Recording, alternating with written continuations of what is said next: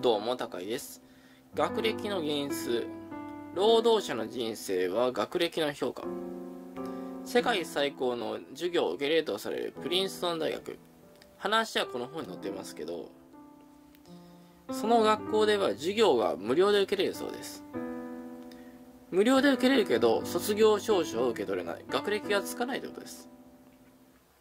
それと比べて授業料をきっちりと払ってんだけど大して授業も受けずにでもテストは合格し学校を卒業して卒業証書を受け取ったっていう学歴のついた学生ときっちり4年間学んだんだけど学歴のつかなかったという授業料を払わなかった学生どちらが価値があるあると思う？って話をした場合当然証書を受け取って学歴のある学生の方が価値があるって世の中が評価するわけです。これって不公平じゃね？って思うわけですよねみんな。求人票においても中卒高卒大卒大学院卒って言ったら大学院卒の人の給料が一番高いよね。これはみんなも求人票見た場合やっぱ高いよねって思うことだし。アメリカはカースト制なんですよね。学歴の高い人が学歴の高い同じクラスの女性男性と付き合える。日本だと参考元素って今はあるか知らないけどあるよね。高収入高身長高学歴。どれをとっても魅力的だけどあった方がいいよねってみんなも思うわけだよ。